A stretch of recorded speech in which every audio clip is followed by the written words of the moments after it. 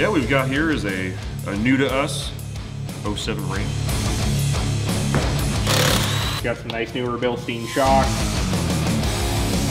We're gonna take this thing out for a rip again and see what happens. I'm excited.